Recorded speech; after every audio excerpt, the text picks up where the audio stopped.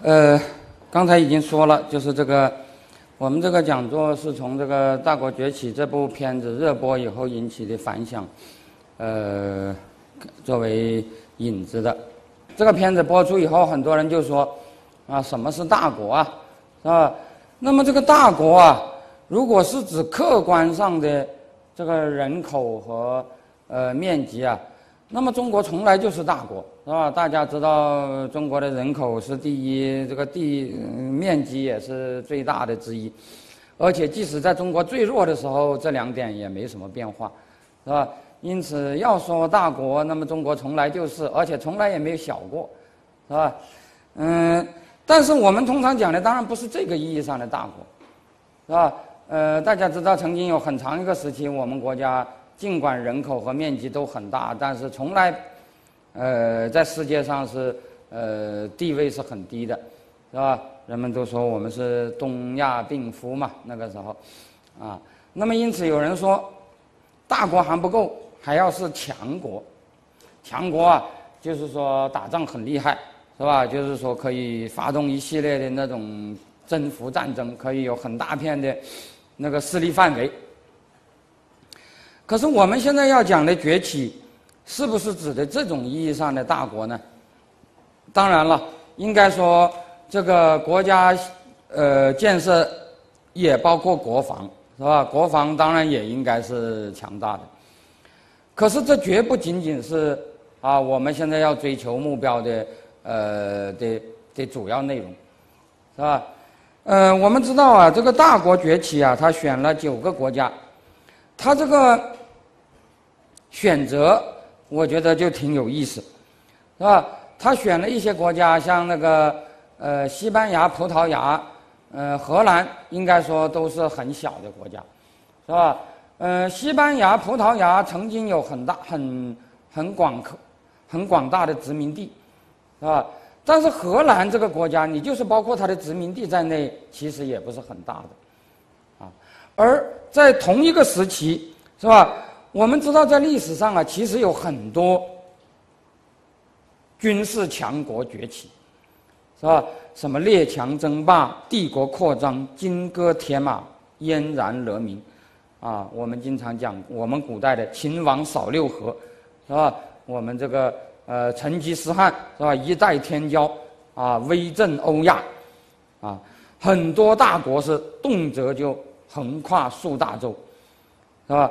像以前什么罗马帝国啊、阿拉伯帝国啊、蒙古帝国啊、波斯帝国、亚述帝国等等，但是我们今天讲的大国崛起都没有把他们列入，啊，这是为什么呢？一个很重要的原因，我想就是，啊，我们现在谈论大国是在一个近现代化的视野中来考察的，是吧？如果你这个国家的这个制度文化不先进，你就是打得很啊，很能打仗啊，这并不是我们呃所要弘扬的大国，是吧？像那个成吉思汗呢，啊，像那个亚述帝国啊，这些古代的这些强国，之所以不被列入大国的范围，就是因为这个原因。而在而在大国崛起所描述的这个近现代时段，我们知道他讲的最早的一个就是葡萄牙。是吧？葡萄牙的那个航海活动，啊，像哥伦布啊这些人，是吧？那应该是在十五世纪就啊就开始了。但是在这十五世纪的开始的这个过程中啊，有世界影响的、有强大军事力量的，老实说，一开始不是什么那个葡萄牙和西班牙，啊。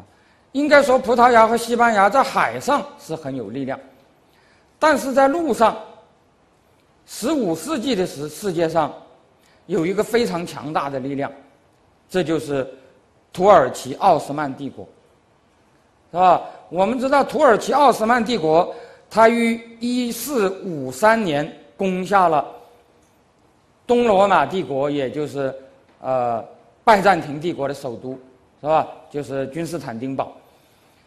传统的欧洲一般都把这件事情看作是中世纪的结束，和近代的开始，是吧？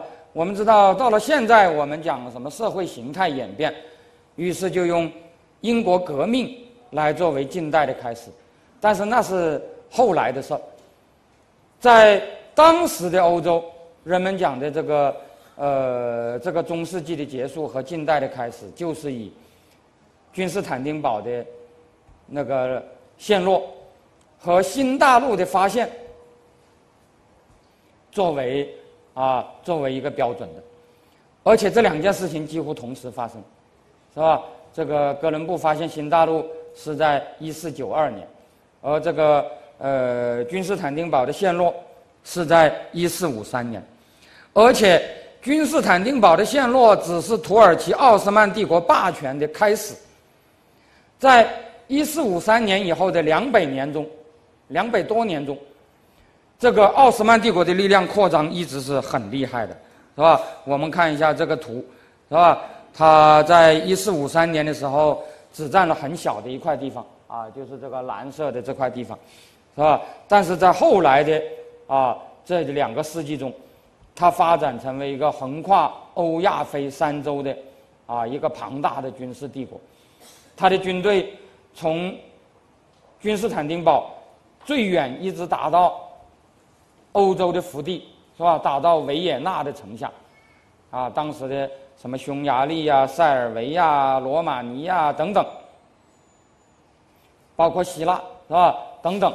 都是他的那个领土。那么在亚洲啊，他占领了整个两河流域，是吧？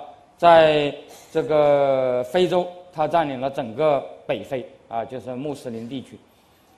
但是这么庞大的一个大帝国，为什么我们今天讲大国崛起，是吧？没有把它提出来呢？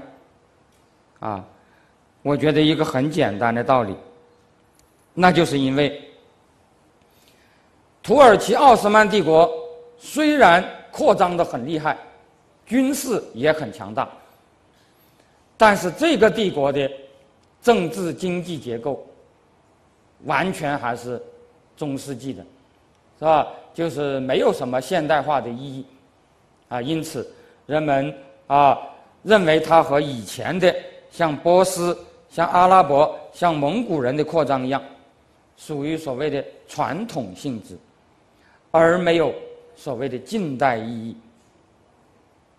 不过啊，我们这里要讲的传统、近代，其实应该讲，主要是针对这些征服者他们自己内部的国民关系而言的，是吧？其实啊，就征服者和被征服者的关系而言。传统和近代的区别，并不是很重要。中国人在当年曾经被传统的蒙古军队屠杀的很厉害，是吧？那个蒙元啊，就是那个那个那个蒙古人在啊在灭灭金、灭夏、灭宋的这个过程中，是吧？曾经到处都在屠城，啊，那么蒙古人当然是传统的，但是到了。近现代，我们又被现代的日本军队屠杀过，是吧？像我们大家都知道，今天是那个抗战七十周年嘛，是吧？这个南京大屠杀啊，这都是我们记得的，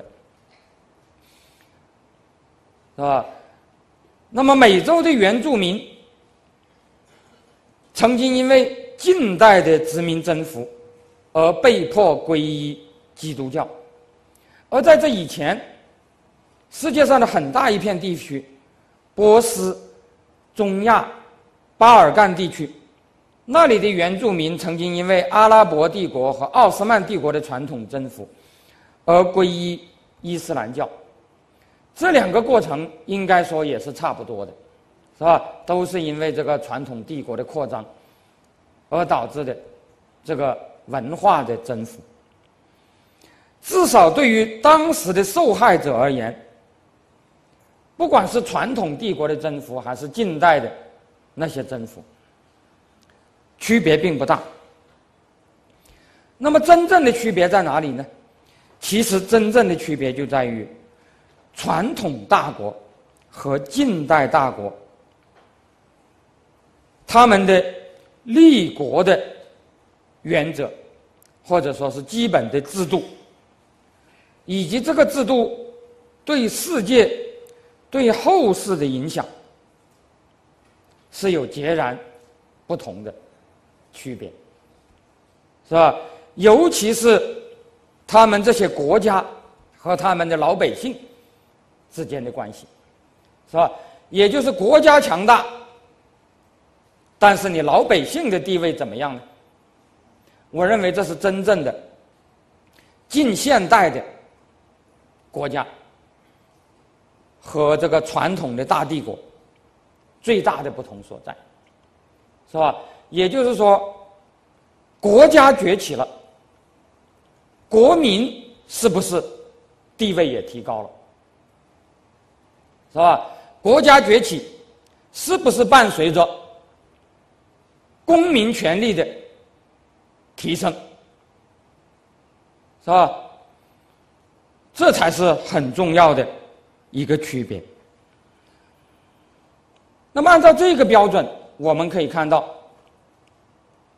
有一些国家从领土讲、从人口讲都是小国，甚至从殖民征服建立的势力范围而言，也。谈不上是大国，比如大国崛起中提到的一个所谓的海上强国荷兰。我们知道，荷兰本就本土而言，它只是小国寡民的，从来也没有成为领土人口意义上的大国。而且，就算是在殖民地和势力扩张的那个时期，它也。不能和西班牙、葡萄牙、英国、法国这些大国相提并论。其实啊，荷兰人在历史上就殖民征服而言，他并不是很啊，并不是很有能耐的，是吧？在历史上，真正比较有意义的荷兰的殖民地，其实只有一个，那就是荷属东印度，是吧？就是我们今天讲的。印度尼西亚。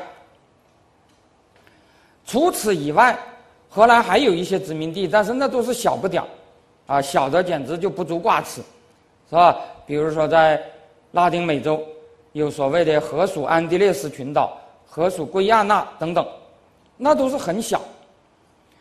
我们知道，它以前在北美洲也有一些殖民地，还是比较有意义的。比如我们今天的纽约，最早就是荷兰人的殖民地。是吧？呃，大家可能都知道，纽约是我们这个这个翻译不太标准的一个翻法，是吧？呃，New York，呃，按照我们统一的大部分情况下，这个词都应该翻译成新约克，是吧？就像那个呃，New Zealand，是吧？我们把它叫做新西兰。呃，像澳大利亚的新南威尔士，是吧？就是 New South Wales，是吧？我们一般都把这个 “new” 翻成翻成新，啊，那么这个呃纽约啊，它原来是荷兰人占领的一个地方，当时的名称叫做新阿姆斯特丹，是吧？就是荷兰的首都。后来被英国人占领以后，就改成新约克，啊，也就是我们今天讲的啊纽约啊 New York，啊，可是荷兰人他就保不住这个新阿姆斯特丹。也就是说，他在军事上其实并不强。不要说打不过英国，其实我们中国人最知道，因为大家都知道，荷兰人当时就被郑成功打败过。而郑成功是什么？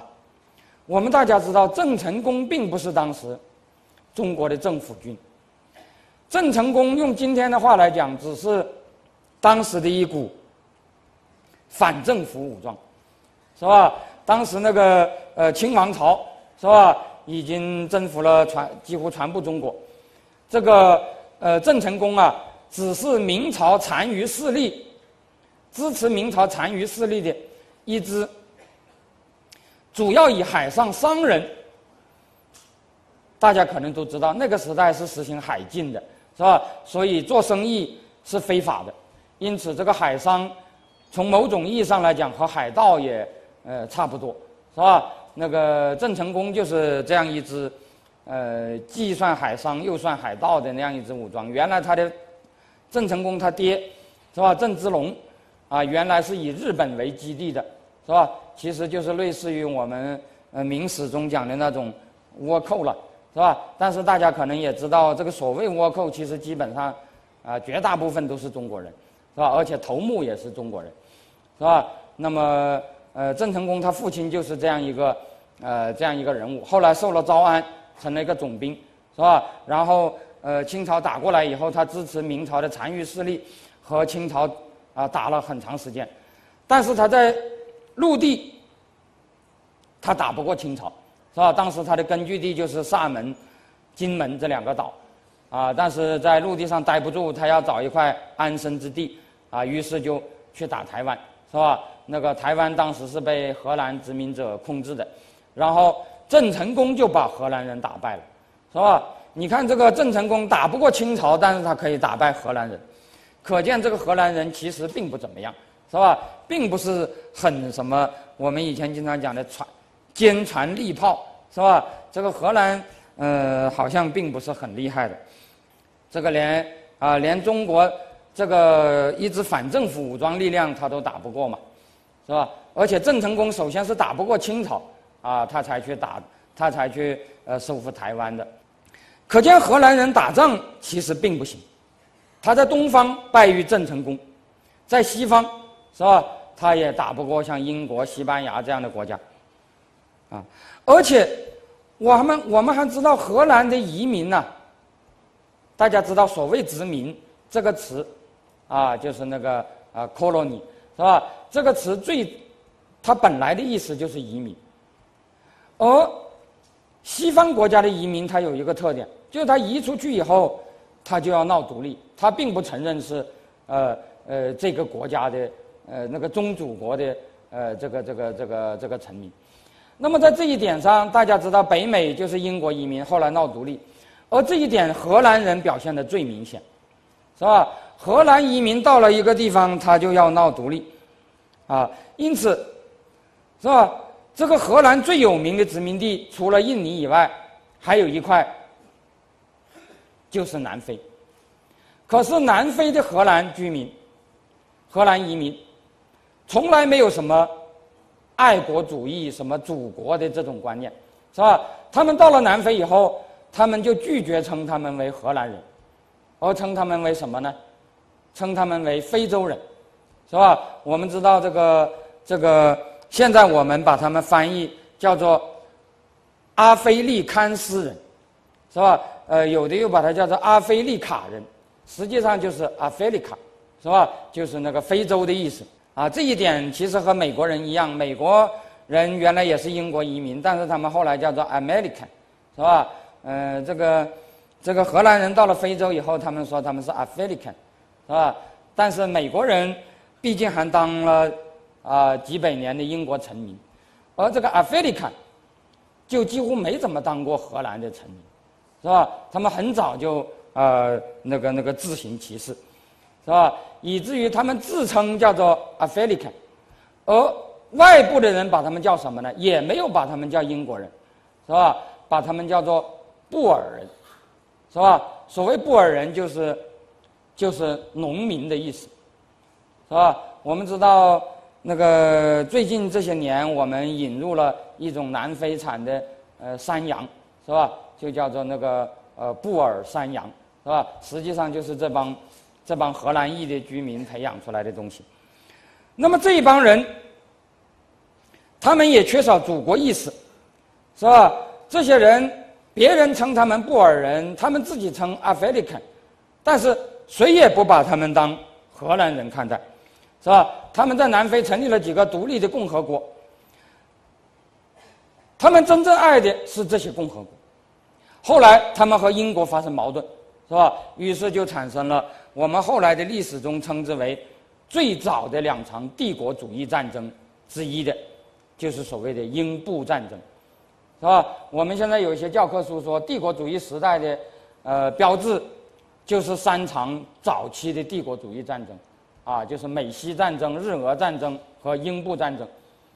但是，美西战争是美国和西班牙打的，日俄战争是日本和俄国打的，而这个英布战争可不是英国和荷兰打，是吧？你只能说是英国人和一帮荷兰的移民他们打的，所以啊，我觉得。我们后来的一些历史学家就很难理解这种现象，他们说英布战争是英国与荷兰争夺南非的帝国主义争霸战争。我觉得这个话就显得有点啊不太了解情况，是吧？布尔人虽然是荷兰裔的移民，但是他们并不代表荷兰政府，他们也不承认他们是荷兰人，是吧？呃，当时跟跟英国人打的基本上是布尔民兵，啊。那么，呃，我们下面这张照片就是布尔英布战争的照片，是吧？英国是正规军，但是布尔人基本上是一帮民兵，是吧？那么，呃，因此啊，布尔人并不是荷兰人，而荷兰人当时老实说，不仅国家很小，势力范围也不大。但是我们为什么说它是大国呢？因为。荷兰人的一些制度创新，的确对世界具有非常大的影响，而且他们的国民也因此充满了自豪，是吧？不仅像股份公司、像联省共和这些制度，对后世有巨大的影响。荷兰人的商业势力可以说是无远弗届，而且荷兰人的文化影响力曾经。远被东亚，是吧？至少大家知道，在我们的东邻日本，曾经在很长一个时期，就把荷兰人当做西方人的代表，是吧？在日本明治维新以前，介绍西方的学问叫做什么呢？叫兰学。为什么叫兰学呢？那就是因为日本人是通过荷兰人。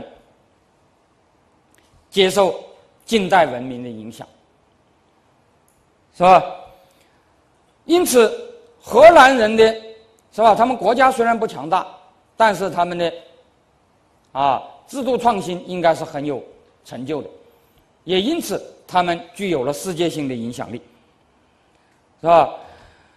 那么我们都知道，按照这个大国崛起的说法，荷兰人在海上的霸权。后来被英国夺去了。其实，老实说，这个说法我觉得不是很确切。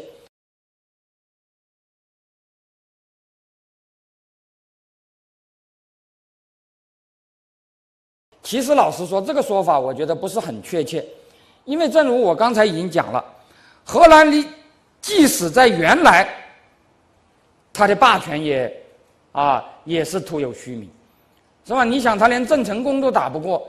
他能有什么太大的霸权呢？但是，到他被英国打败以后，那当然就更没有霸权，是吧？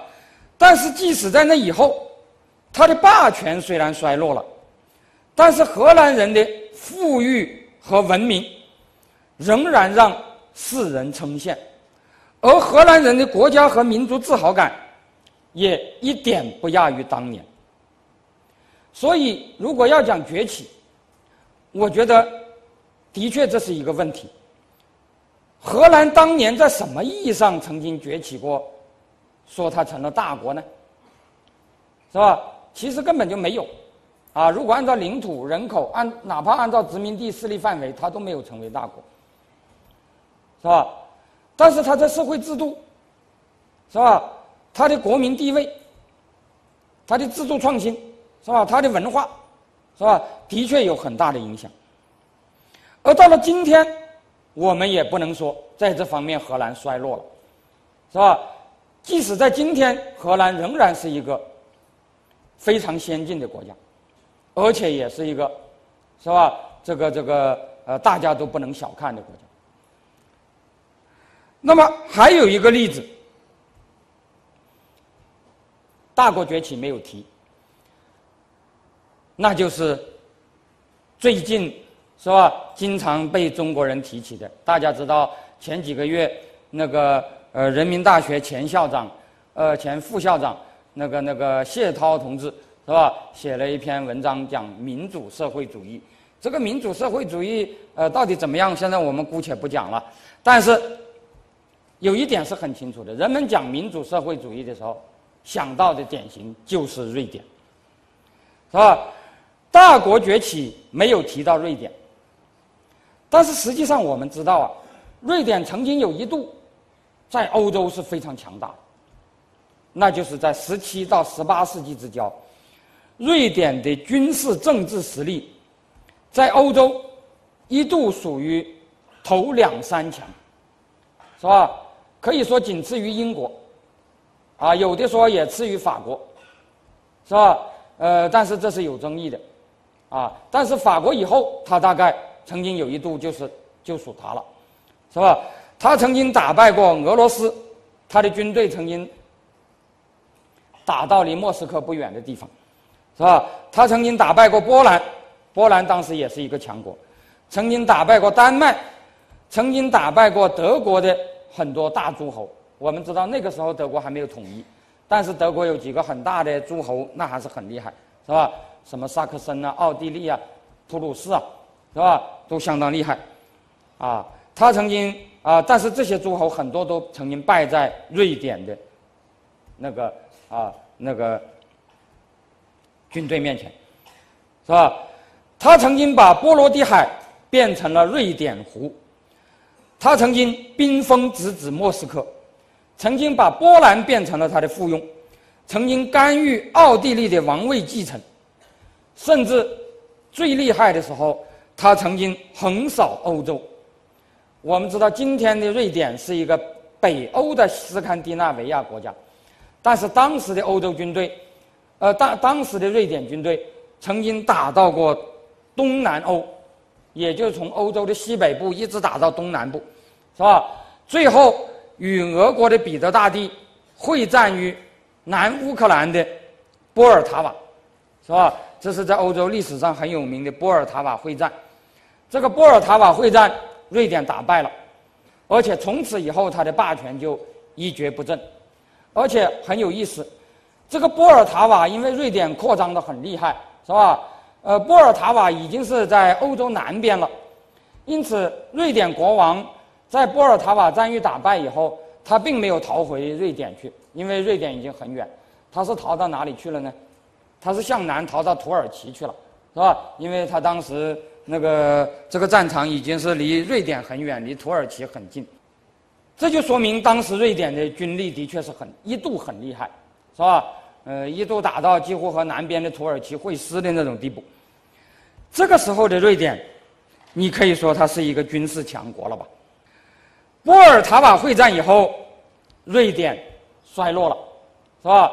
呃，在战后签订的尼斯塔特合约啊，瑞典的那个基本上就变成我们现在看到的那么小小的一块地方，是吧？它的势力范围都丢光了，它的军队再也没有成为气候。可是很奇怪，瑞典在军事很强大的时候，它在当时的世界文明中并没有什么地位。到了一七零八年。波尔塔瓦战役，瑞典大败，国王逃奔土耳其，是吧？这个尼斯塔特合约以后，他的霸权彻底崩溃，而且从此再也没有恢复。但是，瑞典在世界文明中的地位，却恰恰就是在这以后才明显的崛起。我们知道，战败以后，瑞典人痛定思痛。废除了专制制度，开始了瑞典历史上著名的一个时期，啊，这个时期叫做自由时代。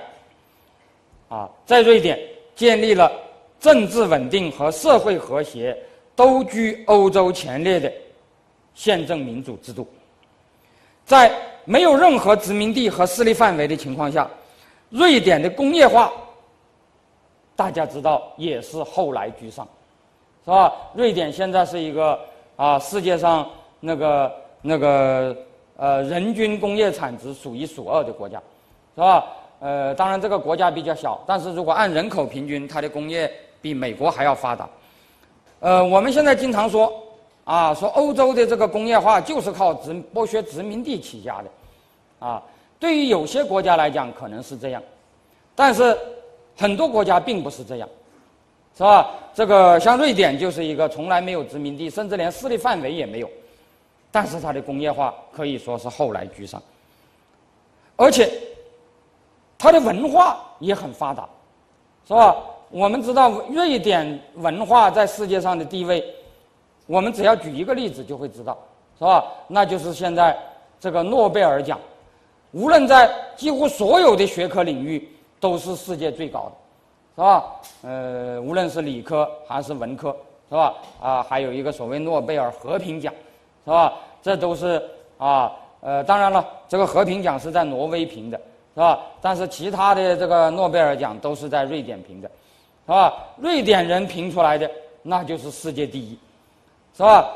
你可见他的啊，这个这个地位还是很高。而我们知道，瑞典的社会福利制度更是独步于全球，以至于现在我们都知道的一个概念：从摇篮到坟墓的瑞典模式，是吧？它先是成为民主社会主义的一个世界性的样板，样板，是吧？人们一讲。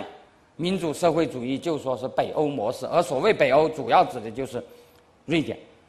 而在苏联崩溃以后，又曾经成了全球几乎唯一还有感召力的社会主义样板，是吧？因为当年苏联的那一套，九十年代以后就没有什么感召力了，是吧？整个苏联这个这个也都崩溃了，啊！但是那个时候的左派，啊。欧洲的左派就成了言必称瑞典，是吧？成了各个左派的啊一种，是吧？那个捍卫左派理想的时候啊，经常举的例子。那么今天的瑞典人，有谁还会怀念波尔塔瓦战败以前所谓伟大国王的光荣呢？是吧？我们知道那个时候瑞典国王很厉害，有强大的军队，大家都怕他。是吧？但是这样的所谓光荣，是吧？今天有几个瑞典人还想追求呢？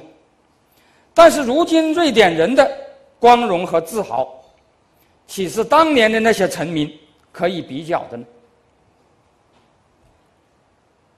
啊，这也就是说，有些国家，它虽然国家并不大。军力也并不见得很强，势力范围也不见得很多，但是，是吧？他们国家的人民就是比较自豪，是吧？他们国民地位很高，制度先进，是吧？所谓的啊，所谓的自由的国家，伟大的人民，是吧？大家都很尊敬他们。但是另外一些国家，我们知道也有国家很强大，国民的尊严也是啊非常啊呃非常可观，是吧？呃，这个国民尊严和国家强大都同时并存，是吧？像美国啊、英国啊，是吧？这些国家啊都曾经是这样。但是我们也知道，历史上有过和瑞典、荷兰这些。恰好相反的例子，那就是国家很强大，但是老百姓很弱小，是吧？国家崛起了，但是老百姓却跪下了，是吧？这样的例子，老实说，我觉得我们中国古代就很典型。啊，大家知道中国古代有一个啊时代。啊，很厉害，是吧？这个秦始皇统一六国啊，秦王扫六国，虎视何雄哉，是吧？这是大家都知道的那个呃那个事，啊，那个秦朝的确是武力非常强大，是吧？呃，国家扫平了六国，是吧？统一了呃中国，是吧？成了一个一个啊一个啊一个很庞大的啊军事强国，而且人口和地方。啊，在当时的世界上，应该说也是，啊很厉害的。但是我们不要说反对秦国的那些人，就说秦朝统治者自己，他们是怎么评价他们老百姓的地位的呢？是吧？应该说，我这里讲的是秦国的主旋律了，是吧？不是什么反对派言论，也不是什么反对秦国的那些人的说法。我们知道秦国，它的主流意识形态就是法家，是吧？像商鞅、韩非啊，以他们为代表的这个法家是啊秦立国的啊理论基础，是吧？是他们的那个主流，啊，是他们的那个主流意识形态。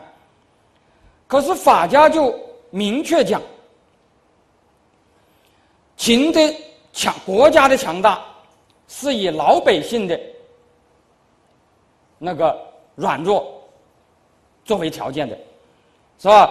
大家可以读一下商鞅，大家知道商鞅变法是秦国强大的一个啊呃关键点。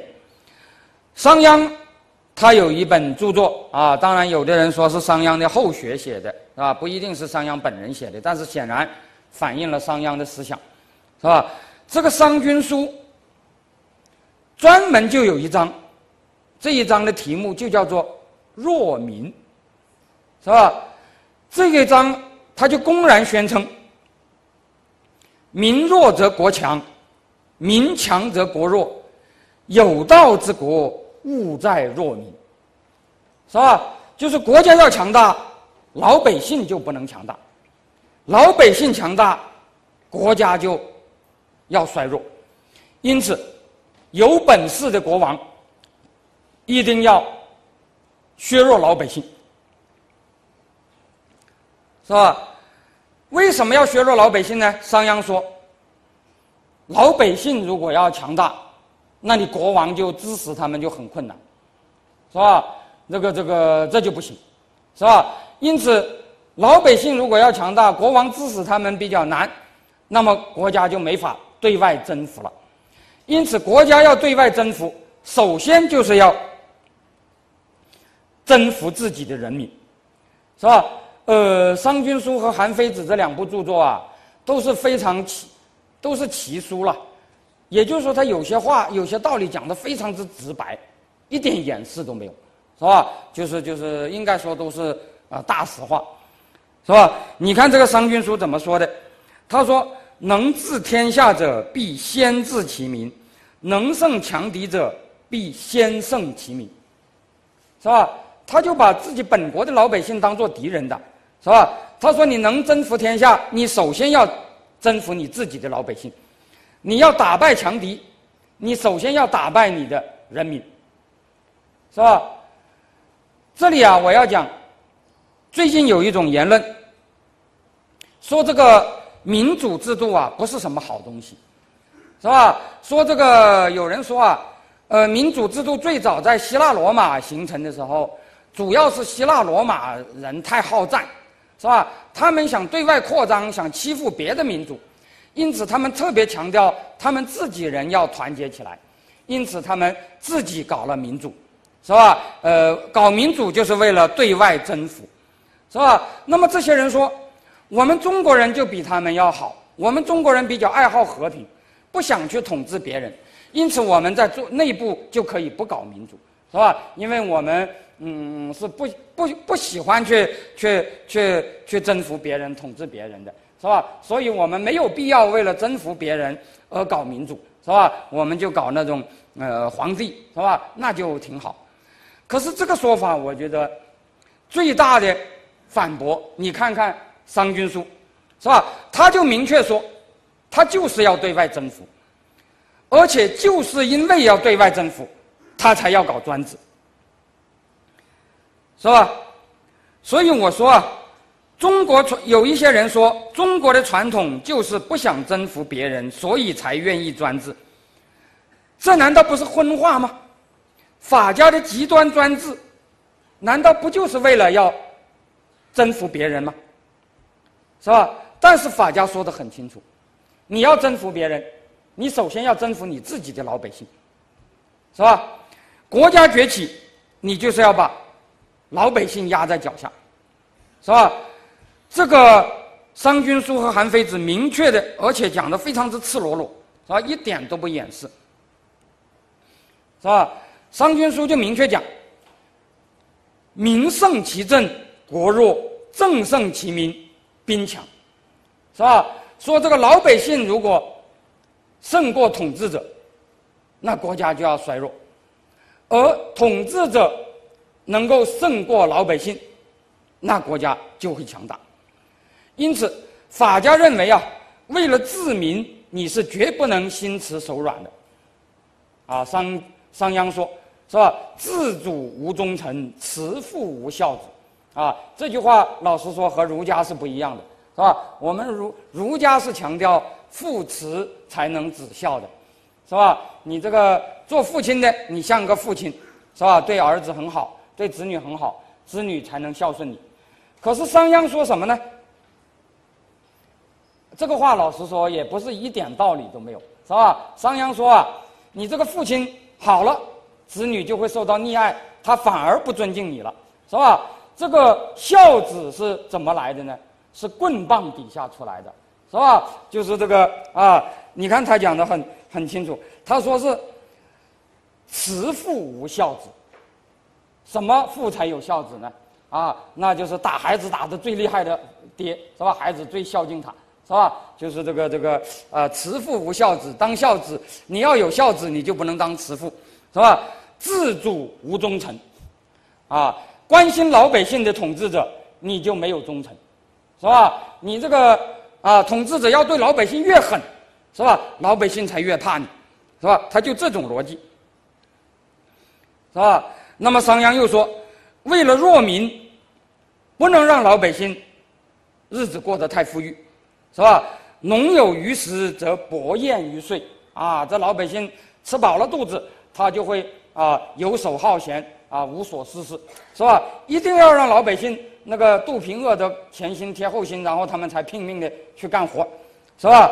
要把他们搜刮得一贫如洗，是吧？韩非专门有一句话叫做“足民何可以为治”，啊，就是有些人说让老百姓富足了，天下就大治了。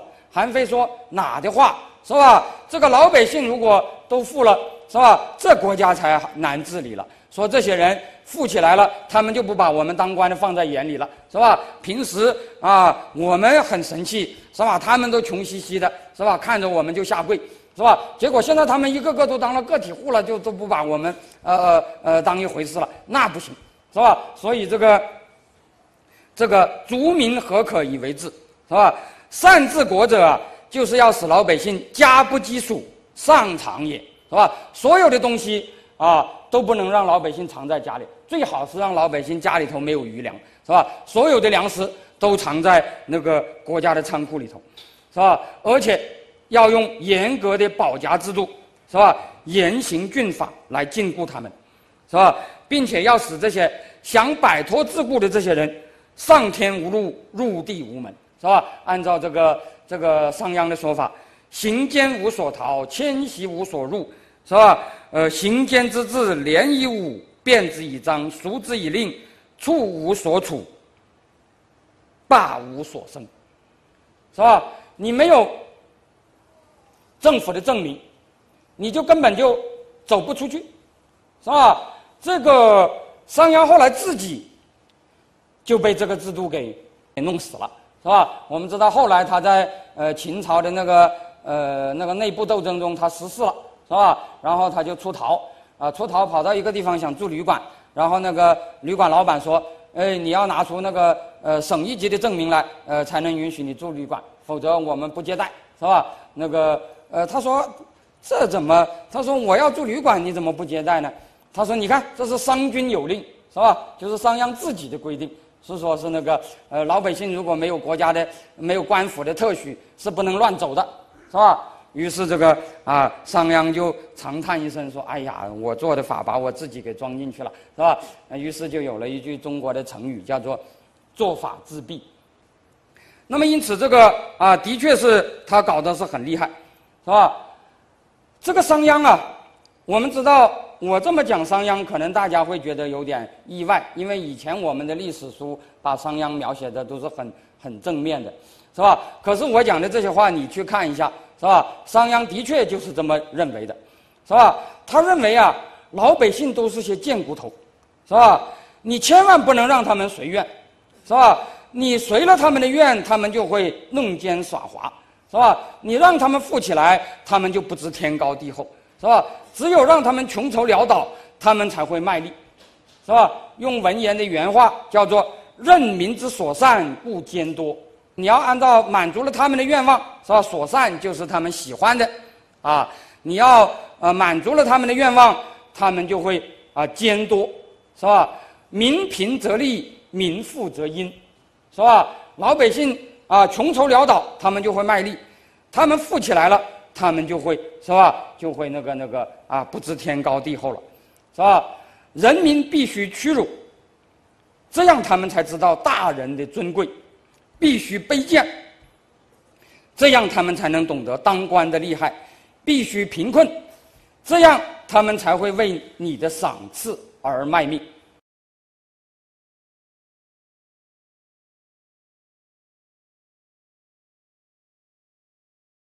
他们才会为你的赏赐而卖命，是吧？这是商鞅的另外一个排比句：民辱则贵绝，是吧？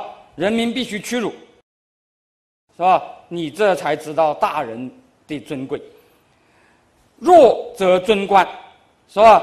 你必须卑贱，这样你才知道当官的厉害。贫则重赏，是吧？你穷得一塌糊涂，是吧？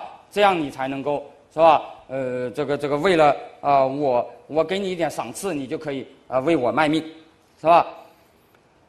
那么因此，商鞅讲的富国强兵，意味着什么呢？是吧？他讲的富国强兵，就意味着要让老百姓存沦在辱弱贫愚之中，是吧？这样的一种强国。是老百姓所希望的吗？是吧？那么这里就有一个问题：秦灭六国，大家知道给六国人民啊是带来了很多呃灾难，是吧？什么那个呃那个长平之战，是吧？一家伙就坑了四十万那个赵族，是吧？呃，秦国军队当时很残暴，这是大家都呃知道的。那么秦国人民。他们自己的感觉如何呢？是吧？关于这个问题啊，我觉得以前的这个史学界是有争论的，是吧？曾经有啊，这个《史记》中啊有这样一段话，说关中这个地方在秦的治理下很富，说关中之地，于天下三分之一，人众不过十分之三，然量其富，实居其六。也就是说，关中这个地方，呃，我这里要讲，司马迁讲的关中，绝不是指我们今天所讲的关中平原这样一个小小的地方，他讲的关中，实际上是指六国统一以前的秦故地，也就是作为六国之一的秦所统治的全部地方，包括整个西北，包括现在的四川，是吧？我们知道四川在统一以前已经被秦呃占领了，是吧？呃，而且大家可能也都知道，像那个李冰修、都江堰啊，都是在那个时候。那么他说啊，呃，这个地方当时非常之发达，因此有人说秦国的这个制度啊，对于嗯这个秦的经济呃的繁荣还是有很大的帮助的。可是这个说法在最近几十年内，很多史学家都觉得啊，这是啊靠不住的，是吧？他们经过考证以后，都指出司马迁的这段带有文学色彩的描述，并不可信。他们根据《史记》本身和一些其他史料，对于秦汉时期各个郡国的提供的数据，是吧？哪一个郡有多少人，有多少土地，是吧？呃，有些什么出产？根据这些数据分析，他们觉得啊。包括战国时期全部秦故地在内的大关中，那个土地的确占到三分之一，但是人口只占到不到百分之十七，而且就是这百分之十七，它的生产也养不活他们，是吧？秦故地的经济是不能自给的，而当时中国经济最发达的地方是什么地方呢？是关东的魏、赵、韩、齐这四国的故地。这四国的故地是吧？面积只占百分之十一，人口却要占到百分之六十，而在集中了那么多人口的情况下。那里无论是工商业、呃手工业还是粮食，都是自己有余的。在秦汉时代，每年他们都要向关中输出四百万担，还包括大量的纺织品和其他手工业品。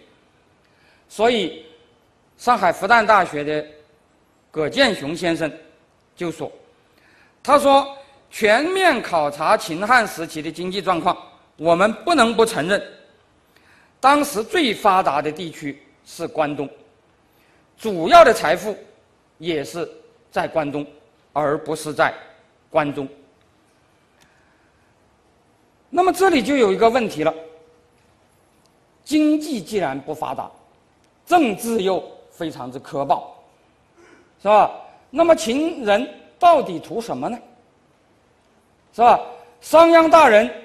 有一句话，我们听了都觉得很惊讶，他就明确说：“政作民之所恶，民弱；政作民之所乐，民强；民弱国强，民强国弱。”这句话翻译成白话什么意思呢？就是说，为政者就是要做老百姓痛恨的事情，啊，就是所谓的“政作民之所恶”。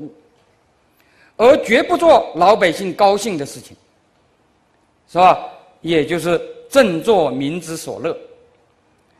他说啊，政作民之所恶，民弱，民弱国强，是吧？你就有能力做老百姓痛恨的事情，这才显示你战胜了老百姓。老百姓弱了，国家强了。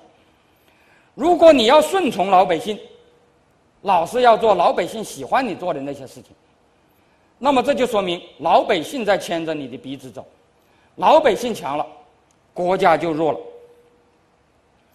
可是这句话我们听起来就觉得，是吧？用今天是吧？我们这个呃胡锦涛同志的话来讲，是吧？呃，和我们现在提倡的与人为本，那就是截然对立的，是吧？那就是。啊，非常非常不以人为本，是吧？他就赤裸裸的讲，我就是要做老百姓痛恨的事情，我就不做老百姓喜欢的事情，是吧？这样国家才能强大。其实啊，古今中外的很多专制者这样想的恐怕不少，但是敢赤裸裸的这样说，商鞅恐怕大概是算是最肆无忌惮的。那么在这样的条件下，秦国固然强大，但是秦国人民的日子能好过得了吗？是吧？关于秦国的老百姓过的是什么日子，我们知道有很多描述。反对秦国的这些人的，比如说贾谊的《过秦论》，是吧？我们都知道。但是这些说法，我们我认为啊，我们不需要去引证了，是吧？因为这些人是反对秦朝的。他们把秦朝老百姓说的很糟糕，你可以说他们是别有用心，是吧？他们是呃反秦的势力。商鞅本人，他就是秦朝的当政者，是吧？他们自己都这样讲，你能不相信吗？是吧？所以我说啊，我们只需要明白一个简单的道理：统治者如果宣称他治下的老百姓，非常富裕幸福，我们要迟疑，我们要看看是不是这样，是吧？不能说统治者说了我们就相信。但是，如果统治者公然就说他就是要把老百姓搞得辱弱贫愚，就是要振作民之所恶。那么老百姓的日子是怎么样？你还能怀疑吗？是吧？他自己就说：“我治下的老百姓就是这样一种状态。”是吧？如果他说我们治下的老百姓都住在天堂，是吧？是不是真在天堂？你要你要研究一番。但是如果他说我们的老百姓就住在地狱，而且说我以此为荣，是吧？那你是吧？你还有什么理由不相信呢？是吧？所以啊，我觉得现在我们有一些啊人呐，因为秦朝的强大，就说这个秦朝的老百姓啊如何如何，是吧？这个这个这个日子过得很不错，是吧？说强秦造福于人民。这个说法，我觉得实在用不着谁来反驳。商鞅、韩非这些强秦理论家，他们自己就是最有力的反驳者。那么，为什么这么这样的所谓暴秦，他居然还能成就大业呢？是吧？这里头就有一个很大的问题了。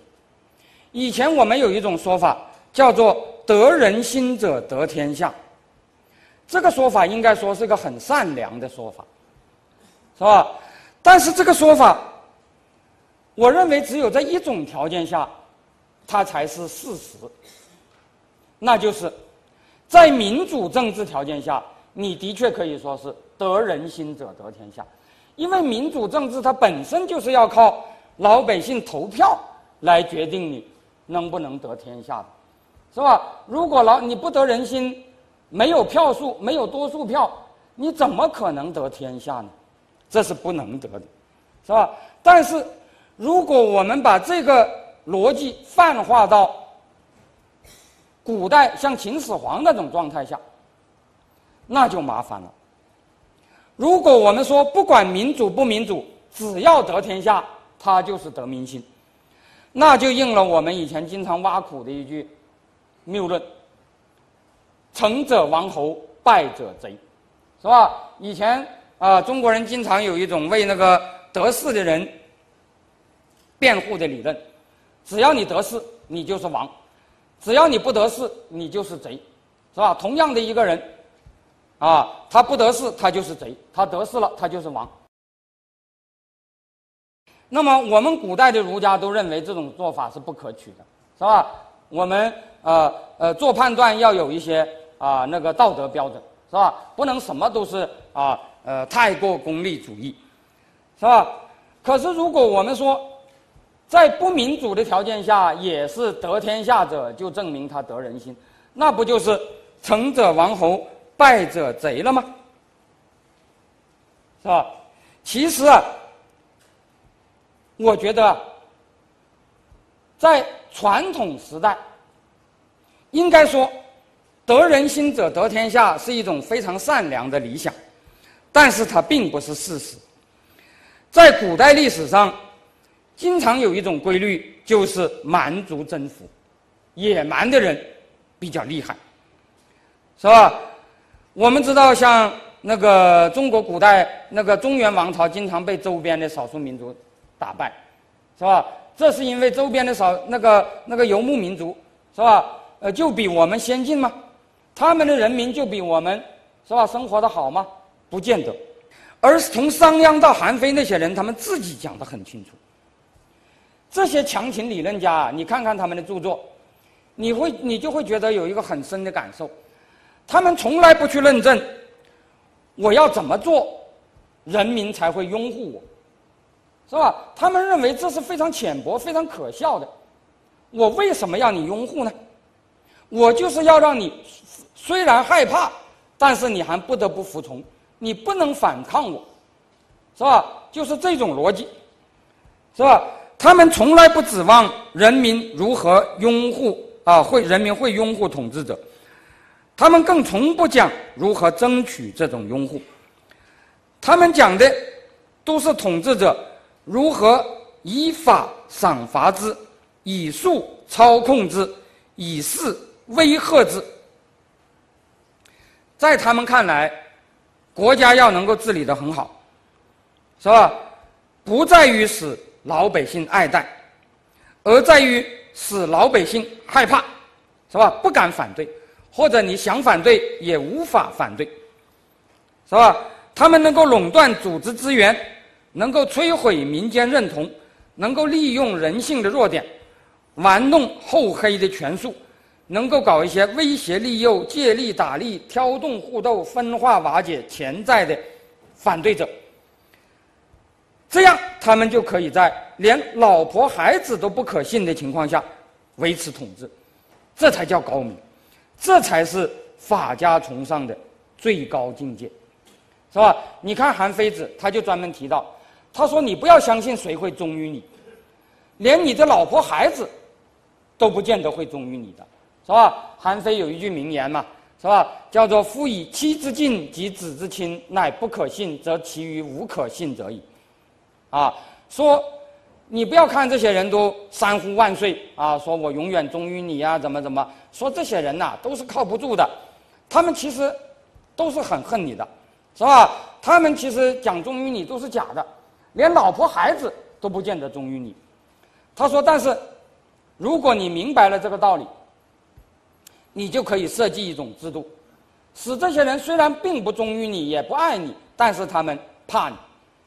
是吧？他们服你，啊，这句话就是后来是吧？这个马基亚维里的一句名言，叫做“令人畏惧，强于受人爱戴”，是吧？受人爱戴的人不见得能成成了气候，但是令人畏惧的人，他是可以成气候。但是这样的成气候，是不是我们应该追求的呢？当然不是。是吧？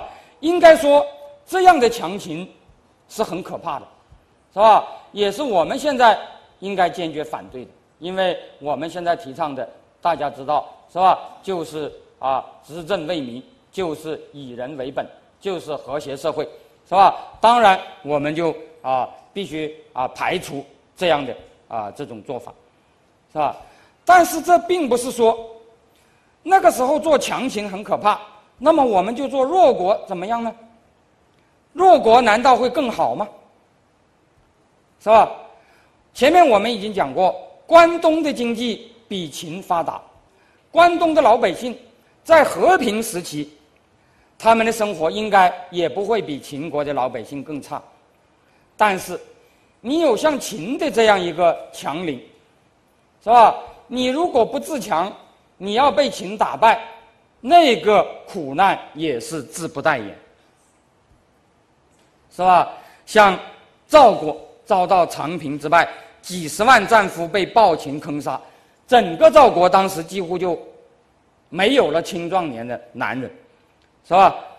青壮男子幸存无几，孤儿寡妇之国，真是苦海无边。所以那个时代呀，应该讲。暴秦的强国弱民之道固然可恶，但是关东六国不知自强，它也是不可取的。而在那种情况下，是吧？如果我们再提倡一种，是吧？大家知道，在那个第一次世界大战的时候，列宁曾经提过一个口号，叫做“让本国政府在战争中失败”，是吧？如果持这种主张的话，那么对于战败的老百姓来讲也是灾难，是吧？我们也不能持这种立场。那么也就是说，在那样的情况下，无论是强国主义还是弱国主义，无论是国家崛起还是国家衰落，对老百姓都未必是一件好事。这种无解状态，于是就产生了大家都。啊，可能听说过的《元曲》中的一段话，是吧？至今遗恨弥烟树，列国周秦、周齐、秦汉楚，是吧？银都变作了土，书都变作了土，兴百姓苦，亡百姓苦，是吧？那么我们现在追求现代化，为的是什么？为的就是摆脱这种。困境，是吧？为的就是摆脱这种困境，为的是国家强大，老百姓能够真正的有自尊，啊，而且国家即使没有霸权，老百姓的人格、自尊和他们的生活也能过得好一些，是吧？比如说像我刚才讲的，瑞典和荷兰，他们并不是强国，但是他们的老百姓非常自豪，是吧？而英国、美国这些国家，他们的国家很强大，但是他们的人民也并不弱。而如果返回来，如果国家弱了，我们就像赵那样，是吧？被别人屠杀；强了，我们就像秦一样，是吧？这个这个啊，国强民弱，是吧？那恐怕就都不是什么好现象，也不是现代化过程中我们应该追求的理想。因此，所谓的现代化，我们要追求的，啊，当然大国不用我们追求了，我们中国本来就是大国，啊，强国当然是我们应该追求的，是吧？因为任何啊人都应该有民族自尊心，是吧？但是，现代化过程中，这个也是。啊，我们现在经常要讲一句话，叫做核心价值观，是吧？社会主义的核心价值观，社会主义的核心价值观，是吧？我觉得既不是大国，也不是强国，但是它一定要是现代国家，是吧？